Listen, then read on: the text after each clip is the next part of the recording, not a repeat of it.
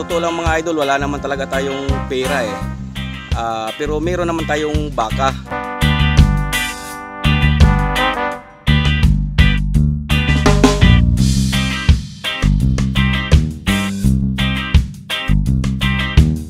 Ay grabe mga idol oh. Wala na talaga tayong makikitang birthday dito na damo.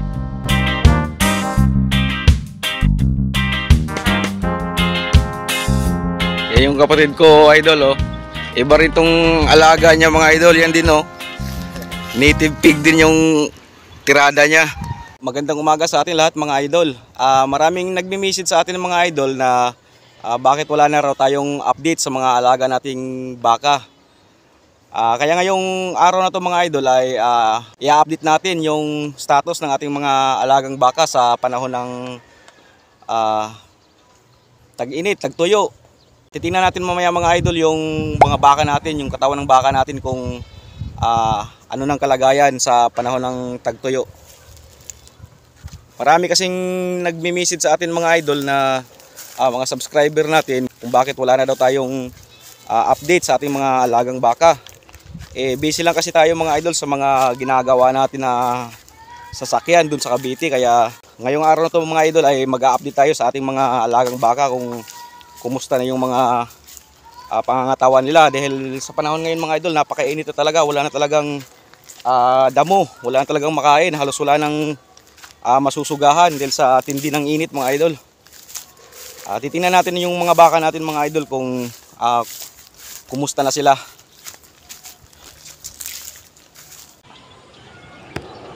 Ay grabe mga idol oh. Wala na talaga tayong makikitang birthday dito na damo. Talagang sunog na sunog na yung mga damo rito. Yan oh, sunog na sunog na talaga. Abuti na lang dun banda sa baba mga idol ay may nakikita pa tayong kulay berde dun.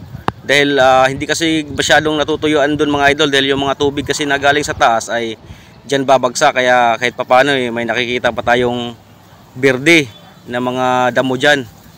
Pero dito talaga sa taas mga idol ay walang wala na talaga tayong makitang berde dito. So tara mga idol, ah, isa-isahin na nating kumustahin yung ating mga alaga. Titingnan natin yung kanilang pangangatawan kung may pagbabago ba. So ito na pala yung isa nating inahin. Ayan oh. Ah, kung nakikita nyo mga idol ay ah, medyo labas na rin yung kanyang buto sa likod. Pero hindi naman siya gaanong kapayatan kaya normal lang sa mga inahin ang ganitong pangangatawan. Ah, hindi katulad sa ibang mga idol na nakikita natin, nadadaanan natin ay ah, sobrang payat na talaga yung kanilang mga alaga, halos butot balat na kaya mas maganda talaga na hindi tayo magpapawala ng tubig lalong lalo na sa ganitong panahon na tag-init. Buntis na pala itong inahin na to mga idol. Ah, yung bumulog naman ito ay yung ating ganador na Brahman. Ah, siguro hindi ako nagkakamali mga idol nasa mga 3 months na siguro itong nasampahan. Kaya inaasahan natin na buntis na to. Isa pala sa pinakamalaking inahin natin to dito kaya ah, inaasahan natin na maganda yung kanyang iaanak. Indo Brahman pala lahi niya. Ang nagustuhan ko lang sa inahin na to ay mahaba yung kanyang pangangatawan. Ayan, tsaka mahaba rin yung kanyang tinga. Kaya nakakasigurado tayo mga idol na malahi ang baka na to. So tara mga idol, ah, titingnan pa natin yung isa pa nating inahin dun sa kabila. So ito pa pala yung isa nating inahin. Ayan, nakapanganak na pala to ng unang bisis mga idol. Yan, pangalawang pagbubuntis na niya ito. Titingnan natin kung kilala pa ba tayo nito. Ba Ba So kilala pa pala tayo ng baka na to mga idol. Ah, tayo kasi yung nagpapalaki sa kanya simula nung inawat siya. Kaya naalala pa niya tayo. Bali na sa mga 4 months na rin siyang buntis. Yan, Brahman pala yung kanyang lahi medyo okay lang din naman yung kanyang pangatawan kumustahin din pala natin yung ating ganador uh, titingnan din natin yung kanyang pangatawan hindi ko lang alam kung saan nakalagay. Nandito lang pala yung ating ganador. Uh, hindi natin napansin kanina mga idol dahil nandun lang pala sa ilalim ng kamachili. Uh, nagtatago. Wag lang tayo ganong lumapit nito dahil uh, hindi na natin kontrolado to. Matapang na to. Dati maamo pa sa akin to eh. Ah, ngayon marami na siyang binubulugang inahin kaya medyo agresibo na siya kaya ah, nakakatakot na lapitan to. Po mga idol.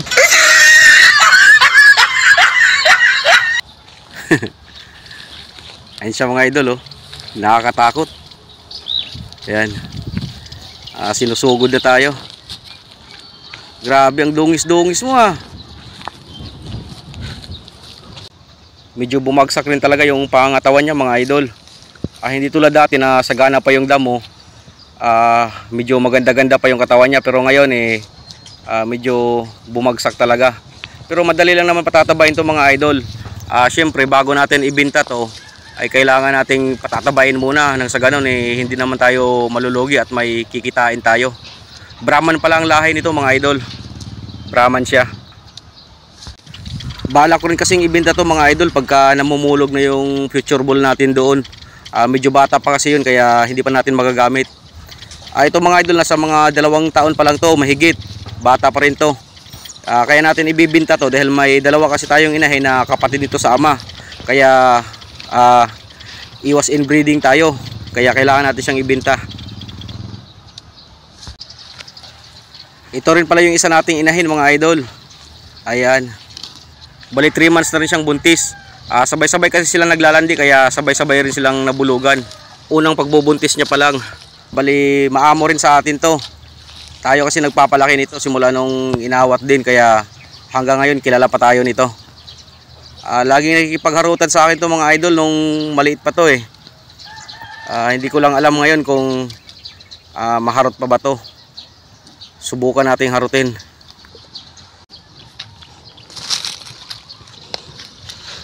Ba.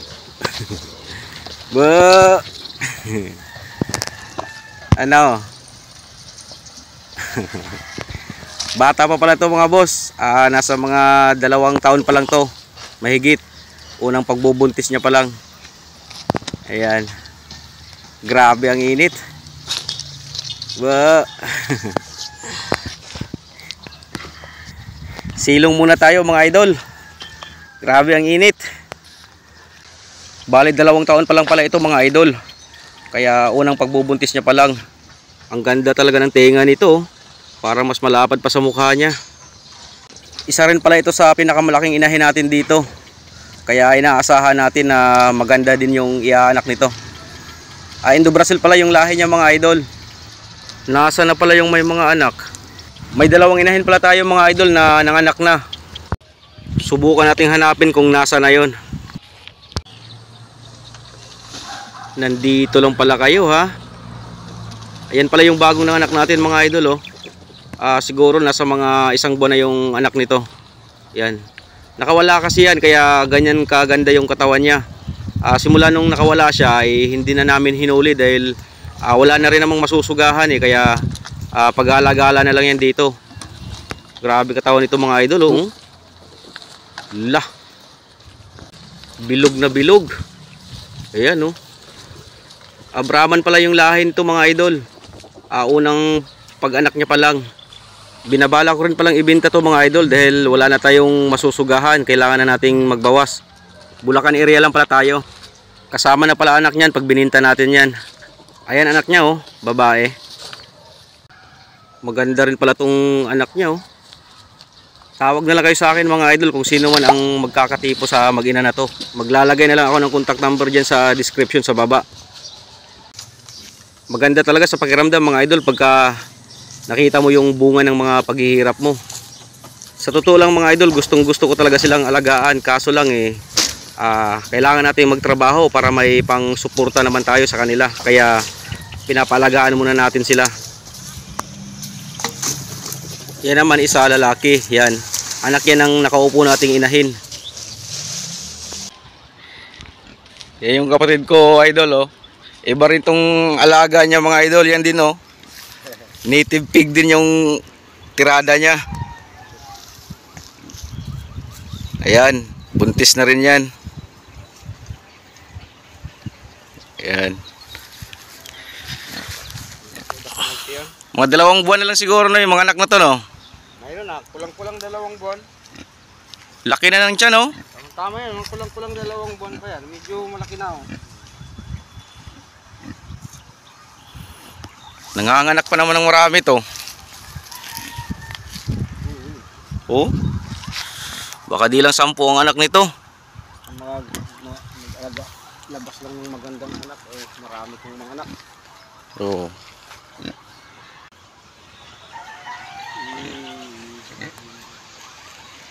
Meron din pala tayong bagong dumalaga na nabili mga idol.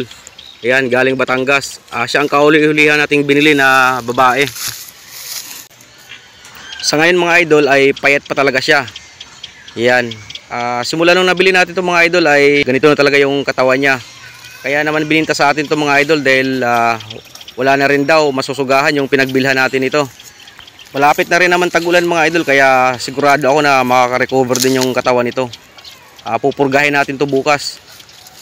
Hindi naman tayo makakabili ng mura nito mga idol pagka maganda ang pangangatawan nito, lalong lalo na sa ganitong klaseng baka na malahi. Kaya pinili na lang nating bumili ng payat nang sa ganun eh may tutubuin tayo. Indo Brazil pala ang lahi ng baka na to mga idol. Ayan oh. Ang ganda ng kanyang tenga. Mapaanak lang natin ng isang bisis to mga idol ay bawing-bawi na tayo. Lalong lalo na pagka lalaki pa yung magiging anak nito. Yan. So pupuntahan natin yung future ball natin mga idol na bagong bili lang din natin. Yun ang ipapalit nating pangganador sa ating mga inahin. Ay grabe, tuyong tuyo na rin yung pispan mga idol oh.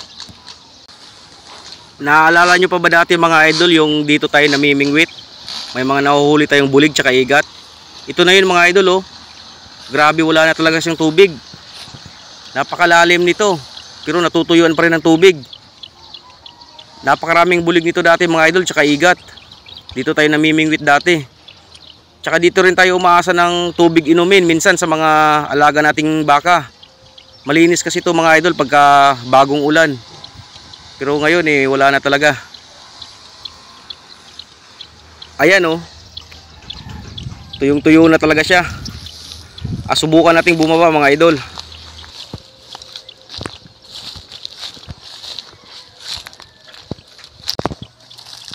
Ayan mga idol oh. Ah, malambot pa yung putik niya pero wala na talaga siyang tubig. Ayan, medyo malambot pa siya. Yan pala yung future ball natin mga idol na ipapalit natin dun sa barako natin. Ayan. Napakapait niya na idol nung nabili natin dati. Pero ngayon mga idol ay kahit papano nakaka-recover na siya ng paunti-unti. Medyo nagkakalaman-laman na siya. Ah, hindi kasi natin mabili ng mura yan mga idol pagka maganda pangangatawan yan. Kaya ah, mas ginusto na lang natin na tayo na ang magpapataba. Hi! Hi! Ayan siya mga idol oh. Ayan.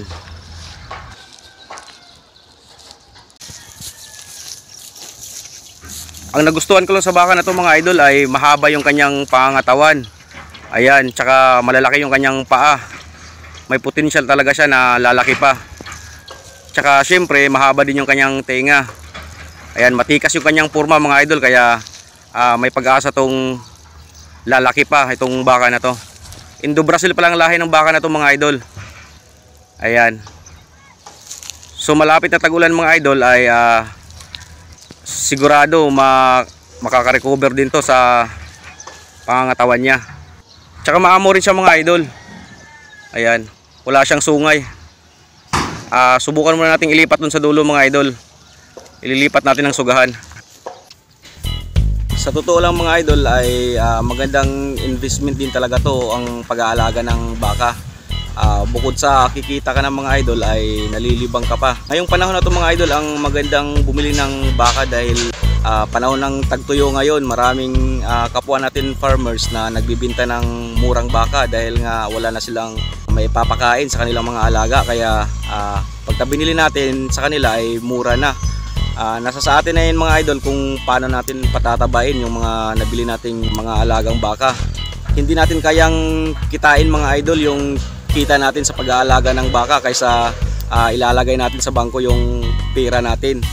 Ah, pagka itatago naman natin yung pera natin mga idol ay ah, wala ring mangyayari. Baka mamaya eh anayin pa yung tinatago nating pera kaya mas maganda mga idol i-invest na natin sa pag-aalaga ng baka.